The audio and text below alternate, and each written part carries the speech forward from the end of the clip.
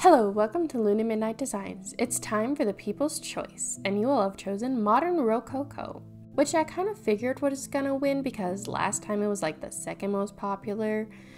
Uh, maybe next time, Strawberry Cow. The people have spoken, so let's get started.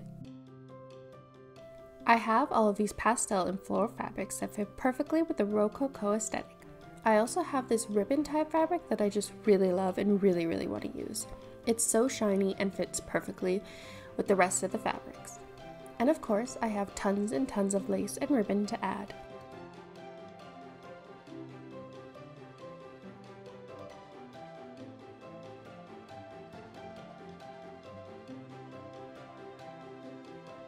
To make the patterns for the clothes, I used what I had and just scaled it up. So I cut out the pattern pieces first from the paper and then from the fabric. I'll be starting with the blouse. So to match the Rococo fashion, I make the clothes kind of like patchwork-like. Some of the dresses from that time period have like multiple patterns and different laces and ribbon types. So I'm just doing my best to recreate that. So for the blouse, I put the pieces together and sew the fronts together. Gather the sleeves, add the cuffs, attach the sleeves, and then close the side and sleeves and later I add a closure and more decorations to the top. The pants are the same as the blouse, patchwork alike, but more purple. I am using two different types of floral fabric and one plain purple. Three pieces for each side of the pants. A lot of fabric.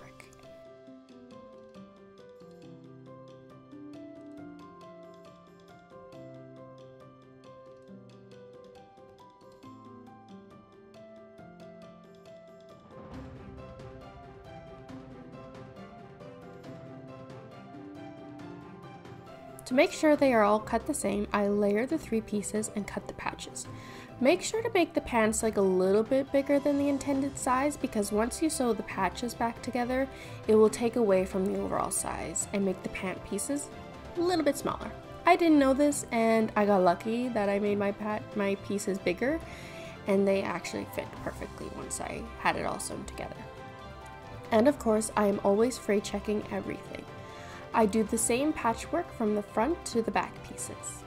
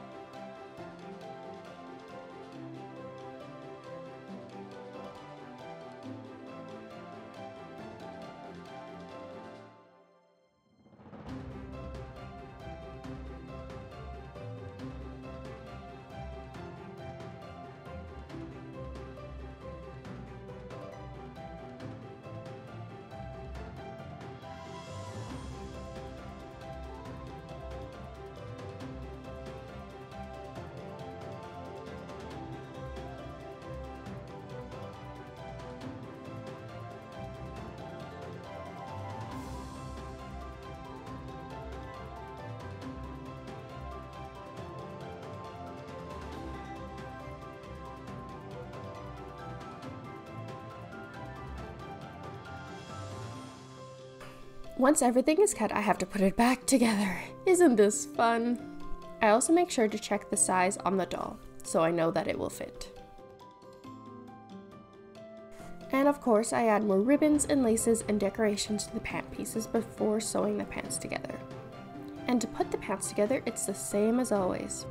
From pieces at the top center seam, and then back and front pieces at the side, I also add a ribbon to the bottom of the pants and sew the inseam and add a waistband and a closure and the pants are done.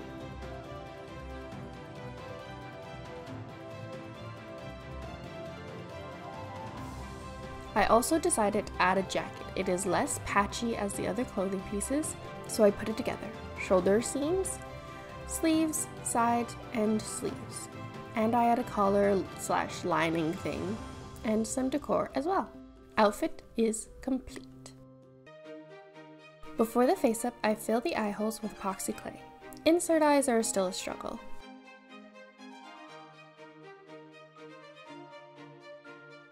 I then spray the face and begin with blushing the face with pinks.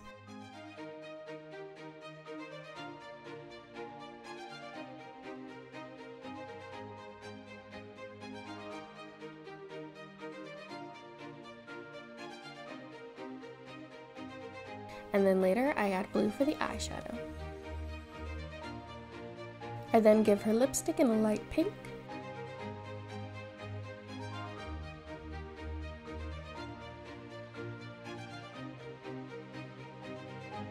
I then add details to her eyes in purple and blue.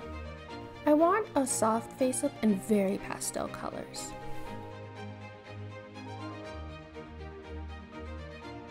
Then add beauty marks, of course. Her eyebrows are there, but hard to see. I then paint on baby hairs, just cause they're cute and pretty. I'll be using yarn for her hair and the baby hairs will help with the transition and make it look more smooth and it's also just a fun detail to add.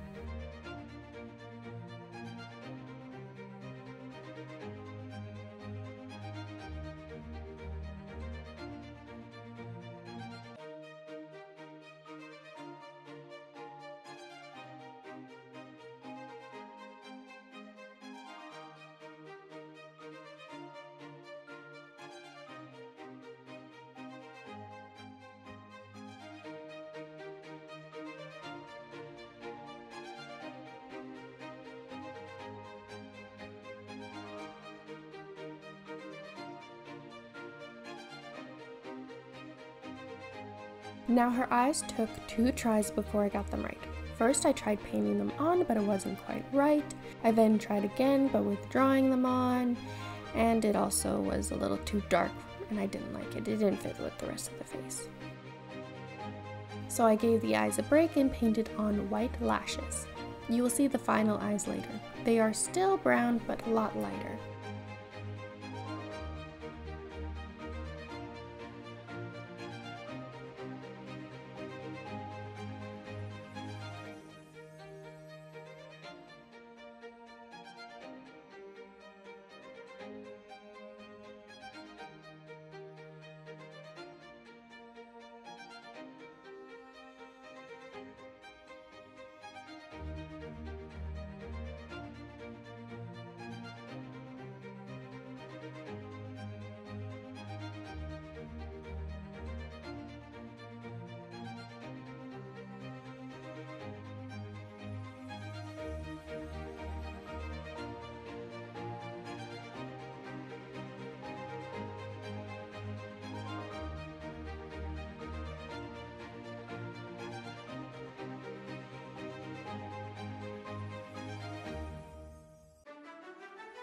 Like I said earlier, I'll be using yarn. To be precise, I'll be using this light blonde yarn. It will be the easiest to style the way I want. So I make wefts and then glue them to the head. These first wefts will not be flipped up. They will act as like down curls and like bigger baby hairs to help with the transition from the head to the hair. Make it look nicer. After that I add the glued wefts, not to like fill the head, but enough to make it look filled once the hair is flipped up. I then take the brushed out yarn leftovers and glue them to the top of the head to add more height and bulk to the hair. I then style and decorate the hair. I use flowers and bows and half pearls for the decor. And the hair is done! I then style and decorate the hair. I use flowers and bows and half pearls for the decor. And the hair is done! To make the yarn curl, I heat up a metal chopstick and twist the yarn onto the metal chopstick and it curls.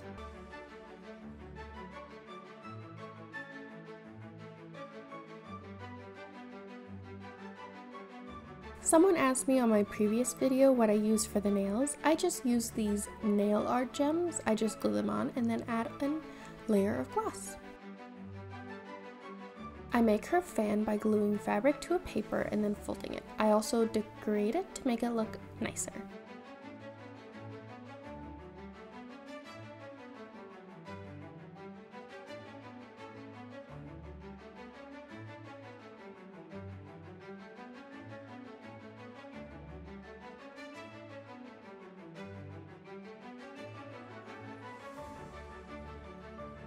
For her shoes, I take these G3 Frankie shoes and give them the patchwork treatment.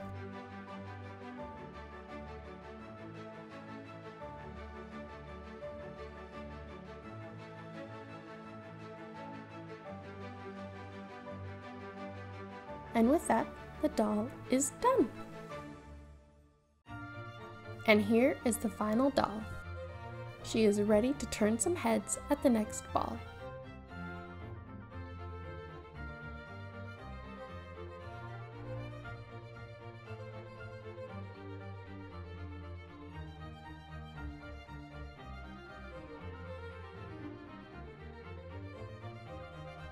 I hope I was able to blend modern with the Rococo fashion. I know it doesn't scream modern, but I really love how she turned out. There isn't a part of this doll that I dislike or want to change. She turned out just how I imagined her.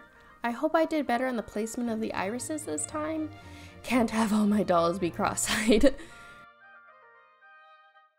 Of course, she does need a name, so if you guys have any name suggestions, please leave a comment.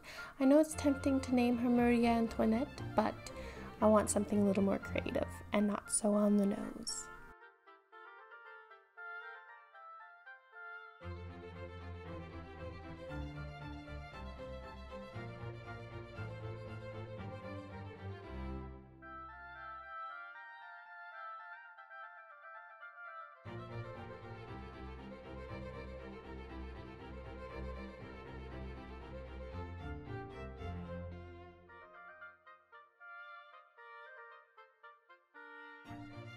Anyway, thank you for joining me today. Follow me on Instagram to see more and to be more part of my process, check out my community page for polls on doll ideas and sneak peeks of upcoming videos, and subscribe to catch future videos.